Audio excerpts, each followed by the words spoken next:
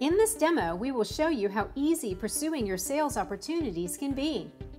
Using SuperOffice, we will show you how you can quickly get an overview of your pipeline and your budget status. Know what you need to do in order to move your open sale forward and follow up on important steps to update your forecast efficiently.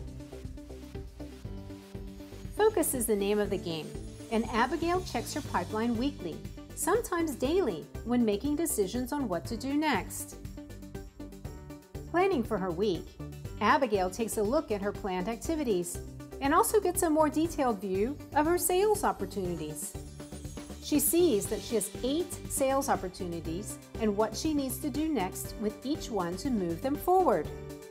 The red line alerts Abigail to a task which is overdue.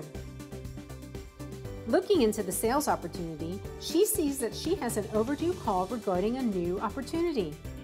This is an opportunity for closing this month, so Abigail decides to make the call. While Abigail is talking to the customer, she adds her notes directly into the dialogue, so it's easy to follow what developments there are with the sale. In our example, the customer tells Abigail that the board has postponed the decision until the next month and they want Abigail to come and present the offer.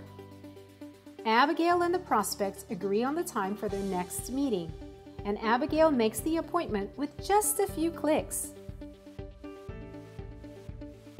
Updating her sales pipeline is so easy that it makes sense to do it right away, so that it always shows the true picture of what's happening. You have now learned how to always be on top of your pipeline against budget be able to prioritize your activities according to importance, and keep your pipeline updated to reflect the true picture.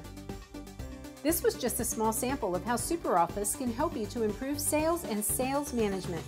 Please take a look at our other demo videos for more information.